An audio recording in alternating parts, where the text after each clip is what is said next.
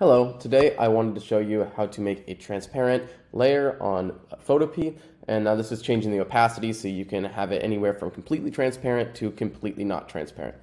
So first you're going to create a new layer by pressing this new little page icon down in the bottom right. Now I have this layer right here that says layer 1, I've already created it.